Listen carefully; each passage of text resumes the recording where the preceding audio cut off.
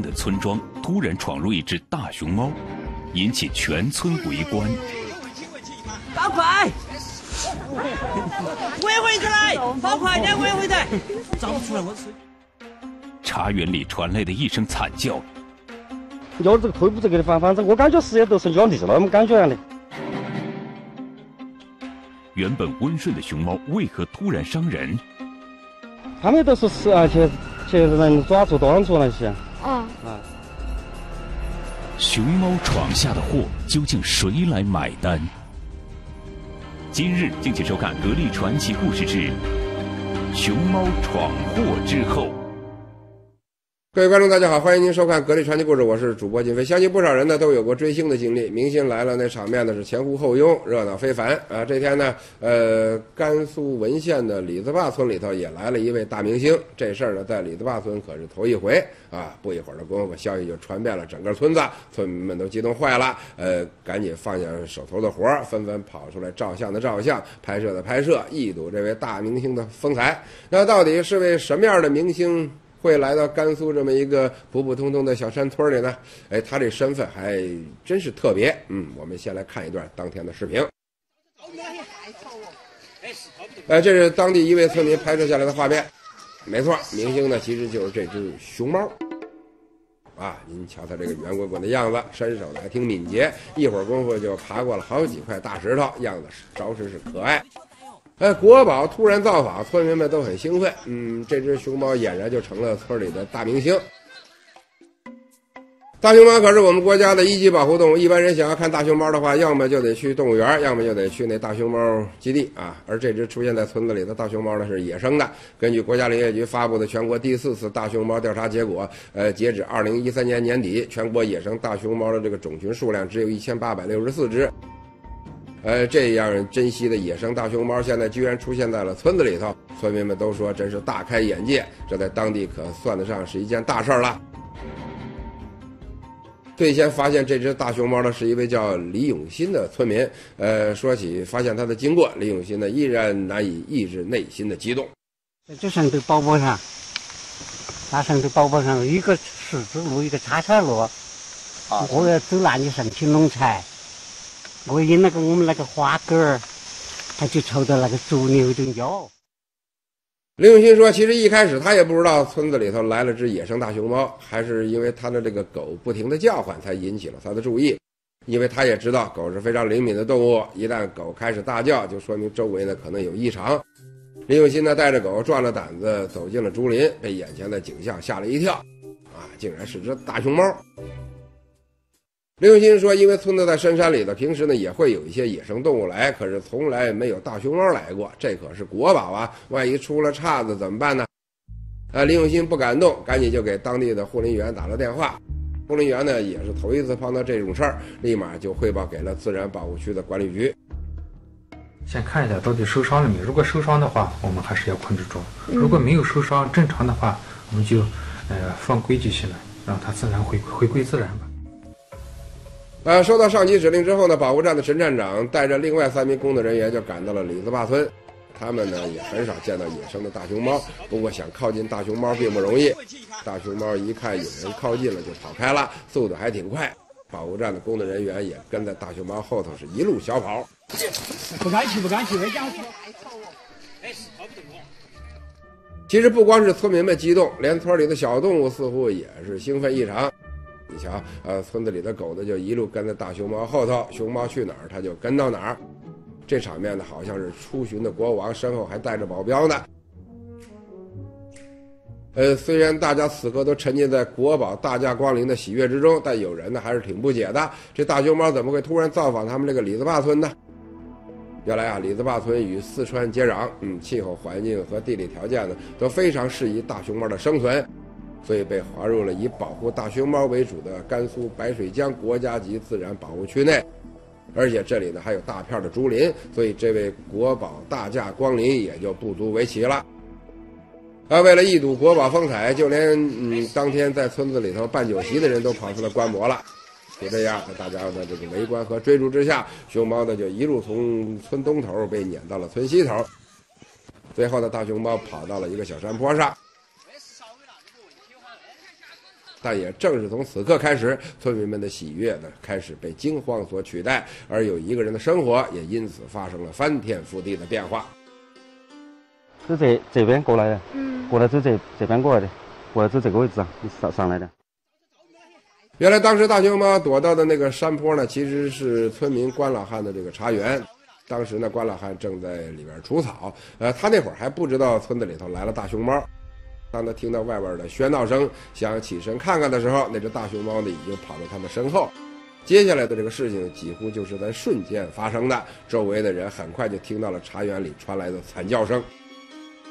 啊，就没反应过来是猫咬了，是突然的事情，直接就咬了我的腿，我就伸不住，就倒了也因为我也受到惊吓，我也怕得很呐。嗯，那一个就伸不住了，这个就咬住，我就倒那儿地方了。大熊猫竟然咬人了！嗯，一说到熊猫呢，大家想到的肯定是它那个憨态可掬、萌萌的样子。呃，可是这么温顺的动物竟然咬人了。呃，其实呢，熊猫虽然靠竹子为生，但是它依然属于肉食目。动物，呃，而且呢，它的这个臼齿呢特别发达，呃，它的爪子也是又长又尖，嗯，不过通常情况下它是不会主动进行攻击的。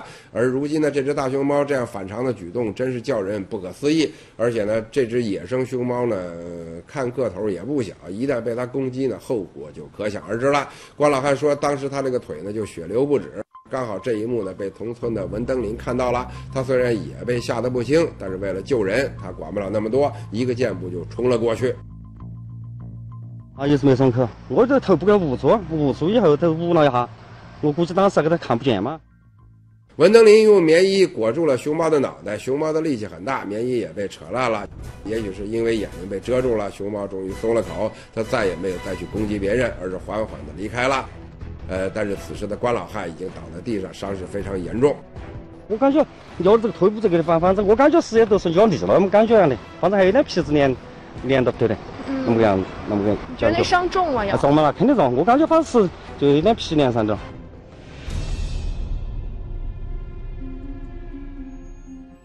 村民们听到动静都赶了过来，他们都不敢相信关老汉这伤竟然是被熊猫所伤。嗯，村民们也是心有戚戚焉啊，再也不敢去追熊猫了。呃，这个时候呢，关老汉的老伴儿也闻讯赶来，眼前的情景让他受到了不小的冲击。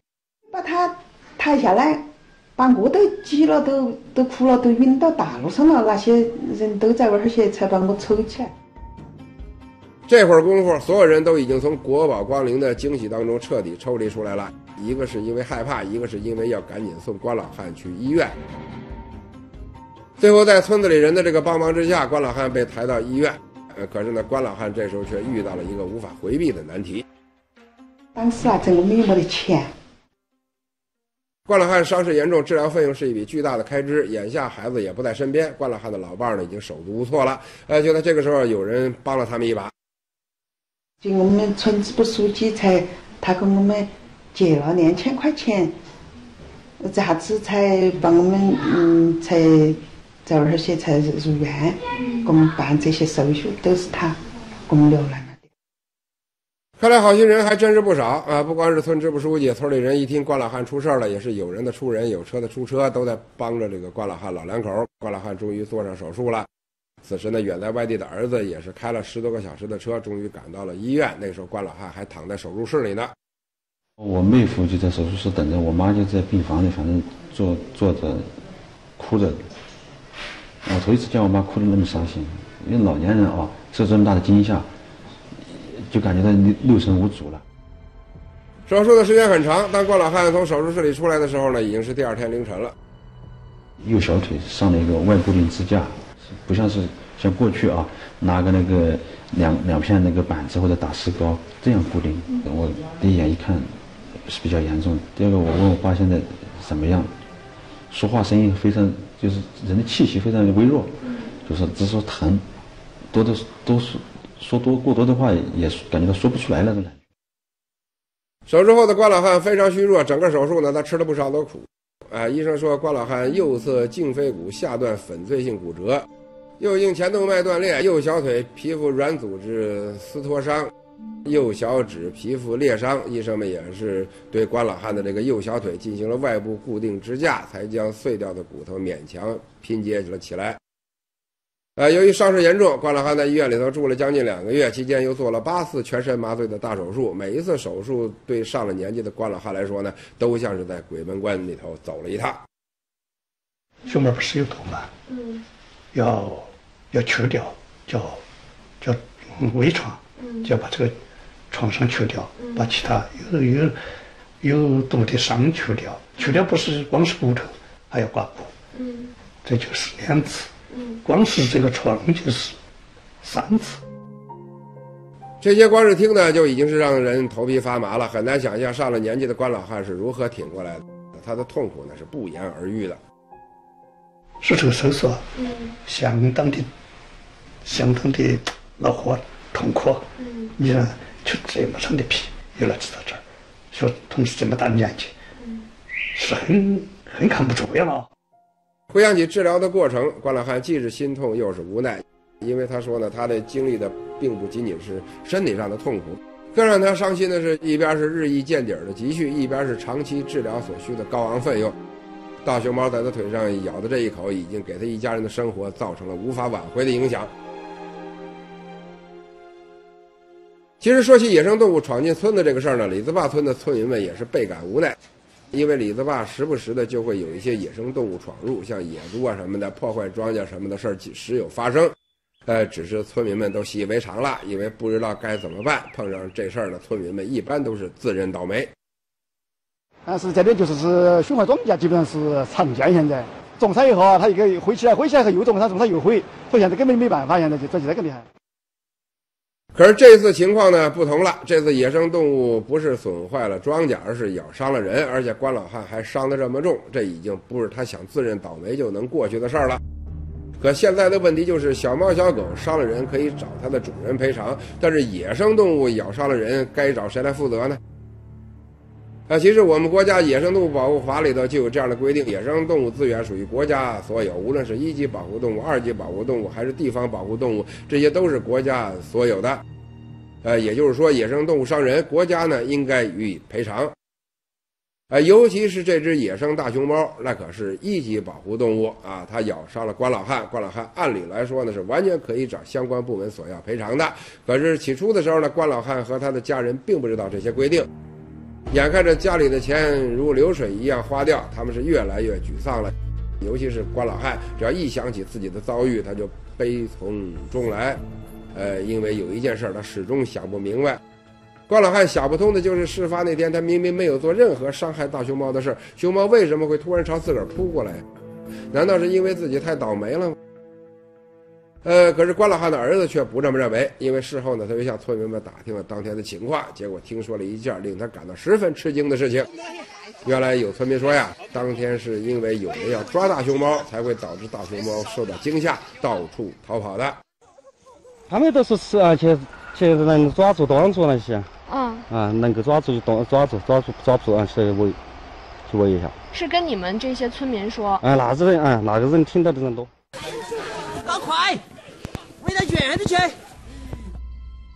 所以关老汉的儿子觉得这场悲剧的发生呢，很有可能是人为因素导致的。如果不是有人说要抓大熊猫，嗯，也许呢就不会把他赶到附近的茶园里，自个儿的父亲也就不会被受到惊吓的大熊猫咬伤。那么村民们口中叫他们抓那只大熊猫的究竟是什么人呢？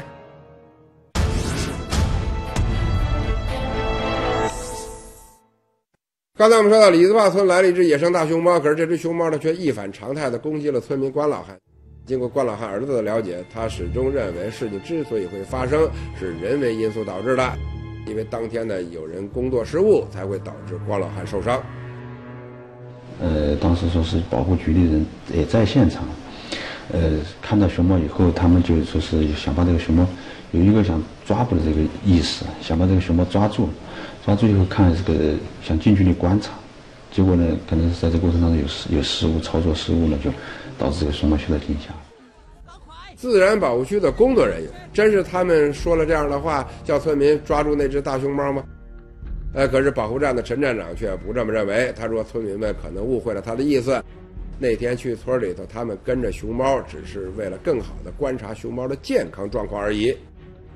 通过这个观察呢，这个熊猫是个成年的大熊猫，大概在一百五到两百斤之间，非常健康，看起来它的这个形态呀、奔奔跑的步伐呀都非常正常、健康。嗯我们站上的工作人员呢，没有安排谁去把这个大熊猫抓起来。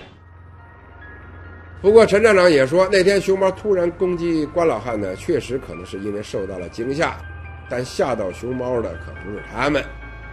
后后面又跟了一只狗，狗叫了两声，熊猫又上去了，就架子上去之后，熊猫可能是前后腹背受敌嘛，对上去之后就把把老人给咬了。陈站长还说，那天村民们对熊猫呢，又是围观拍照，又是一路追逐，可能也是导致熊猫受到惊吓的一个原因。打快！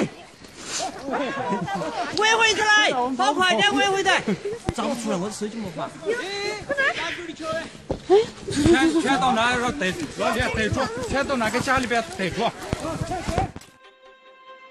视频里头可以看到，当时呢，熊猫在小山坡上，确实有两路人一前一后的在围堵这只熊猫。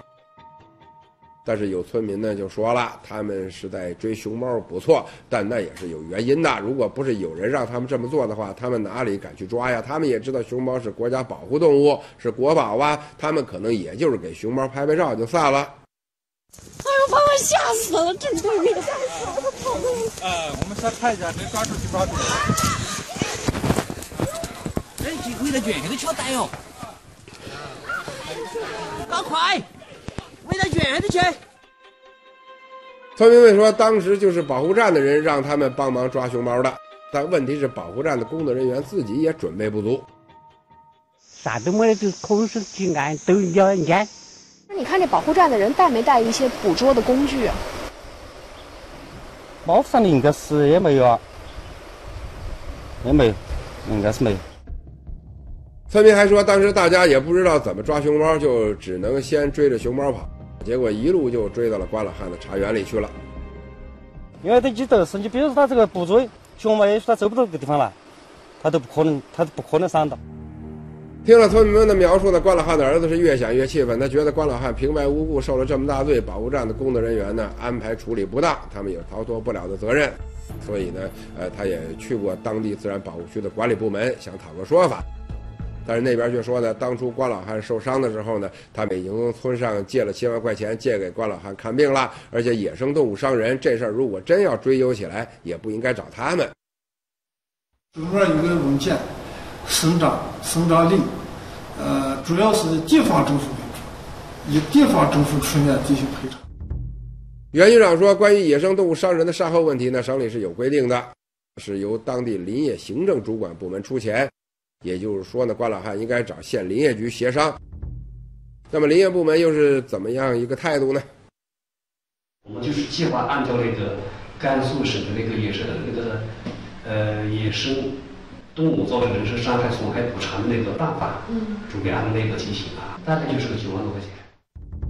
九万块，只不过这九万块对解决他们的这个家庭困境来说呢，还是有些不够。要知道，关老汉当初呢，因为经济原因提前结束治疗出院，身体恢复情况一直不好。以前呢，关老汉是家里的顶梁柱，呃，经济来源都靠他。可是现在呢，他连基本的生活都无法自理了。就是我照顾嘛，他吃饭端到手里，喝水要端到手里，啥子该收啥子，嗯，在床上没本事留的时间，嗯，该大小手都是我啊。嗯。都照顾他。现在，嗯，晚上间起该收还要我在床上给他给他拿过去嘛。在家里面嘛，像我们婆婆坎坎的不不方便嘛，走起来还是要呃抚慰他们。化解关老汉一家认为，除了规定中的国家赔偿呢，这件事儿当地保护区的工作人员也有责任，他们对于关老汉呢也应该予以赔偿。为了争取自己的合法权益，关老汉的儿子找到律师，希望通过法律途径解决这件事儿。可就在这个时候，当地保护区的管理部门主动联系到了关老汉，他们劝说关老汉不必如此，希望这事儿呢还是可以通过协商解决。呃，本身他也就丧失了劳动能力，而且呢，也通过我们几次看了之后，伤情也比较严严严重啊，呃，可能后续呢。还要进行几次手术啊，后遗症比较多。嗯啊，呃，多家坐下来之后一块谈，那一块谈的时候呢，我们也表示同情。嗯，所以呢，能嗯本身他家庭条件也也一般般，嗯，我们能补偿的就给他都补偿。了解到关老汉一家目前的情况，保护区管理局最终同意一次性补偿关老汉各项费用，共计人民币四十万元。这样的结果呢，倒是让关老汉一家始料未及的。有了这四十万，关老汉的这个后续治疗终于有了保障，他们心里头也有所宽慰了。我们想嘛，只要是把这个事情落实下来嘛，人心里就踏实了嘛。哦，主要是这个后续治疗啊，嗯，这个生活啊，这些像福利他呀这些，我们比较人心里都有个底了嘛，人就。就要嗯，对心里就好像有点落实了。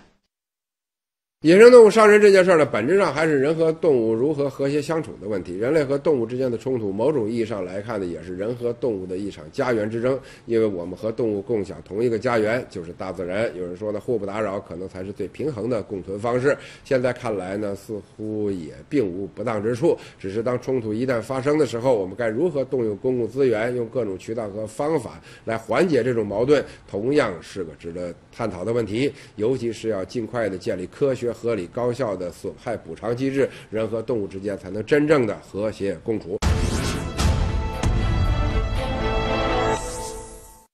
好，各位观众，非常感谢您收看今天的格力传奇故事。嗯，从本周开始呢，在每个周日的晚上九点十五分，江西卫视将推出《带着爸妈去旅行》的第二季，欢迎您关注。好，各位观众，嗯，如果在您的身边有什么新闻发生的话呢，欢迎您通过屏幕上的留言方式告诉给我们，好，让我们大家一起来关注。再见。